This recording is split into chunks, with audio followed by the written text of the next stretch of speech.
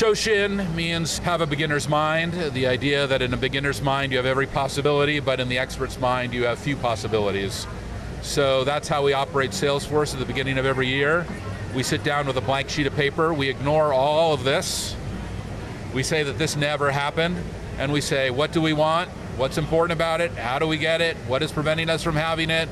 How will we know that we have it? We answer these five critical questions. We define our core values like trust, customer success, innovation, equality, sustainability, and then we manifest it into our organization by operationalizing our values into our company. This has been instrumental and critical for us in running our business for the last 23 years. Post-pandemic is very much a beginner's mind, that this is a new day, it's a new frontier, we really have to think about things new. I don't think there are a lot of things that are similar pre-pandemic, and I think you have to think about your business in a new way.